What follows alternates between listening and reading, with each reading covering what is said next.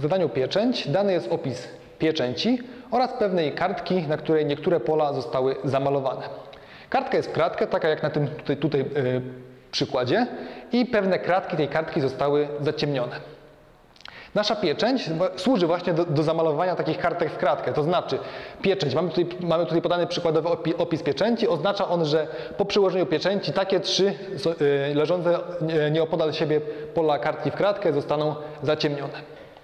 Teraz zastanawiamy się, y, czy wygląd tej kartki w kratkę z niektórymi polami zamalowanymi da się uzyskać przez wielokrotne przystawienie pieczęci.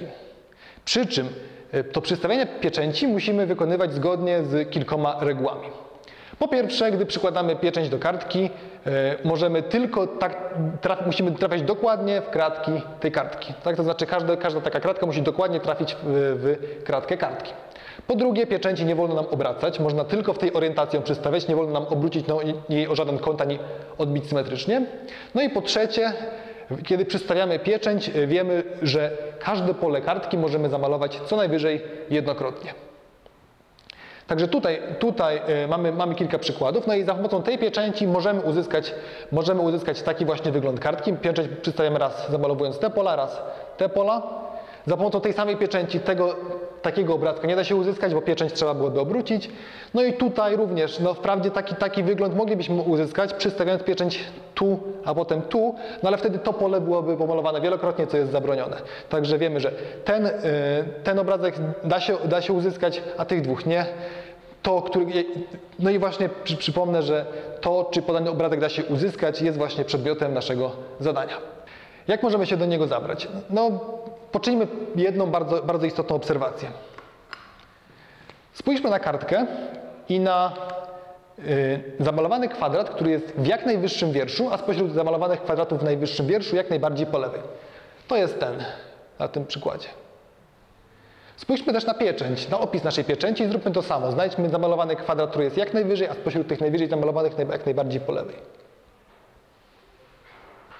No i zauważmy teraz, że gdyby ten kształt faktycznie dało się uzyskać przez wielokrotne przystawienie pieczęci, to zamalowanie tego pola musiało nastąpić w wyniku przyłożenia właśnie tego, tego e, pola pieczęci.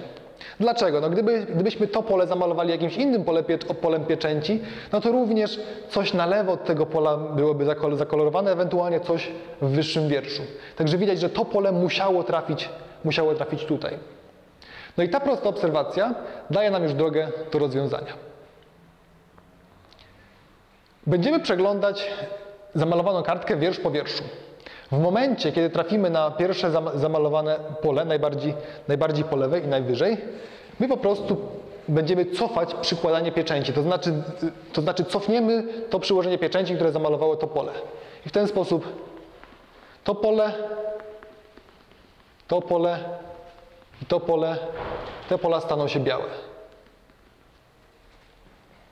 No i następnie będziemy kontynuować, tak? Po odmalowaniu tych pól jedziemy dalej i znowu na pozostałej kartce znowu musi być tak, że kwadrat, który jest, zamalowany kwadrat, który jest najwyżej i najbardziej po lewej, znów musiał zostać zamalowany tym dokładnie kwadratem pieczęci. Będziemy kontynuować nasze przeszukiwanie i, następny taki kwadrat, który znajdziemy, yy, wie, wiemy, że musiał powstać z przyłożenia tego kwadratu, więc znowu z niego zaczniemy, zaczniemy likwidować to przyłożenia te przyłożenia pieczęci, to znaczy będziemy jakby odmalowywać tą kartkę na biało.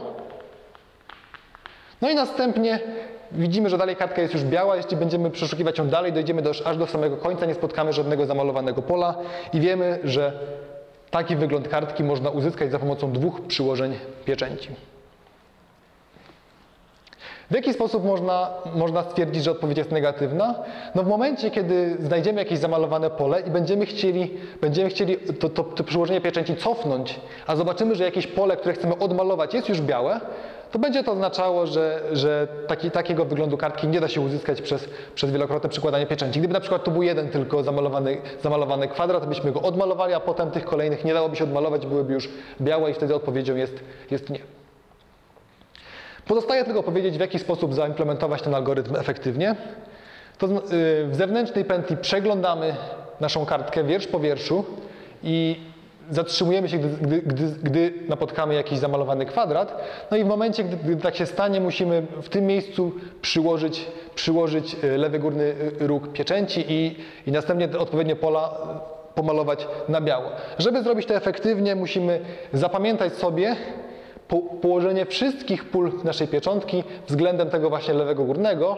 Zapamiętamy sobie taką listę, gdzie te, gdzie te pola leżą i w ten sposób wykonanie takiego jednego kroku polegającego na, e, na wyzerowaniu czy odmalowaniu pewnych pól wykonamy w czasie dokładnie takim, jaka jest liczba zamalowanych pól naszej pieczątki.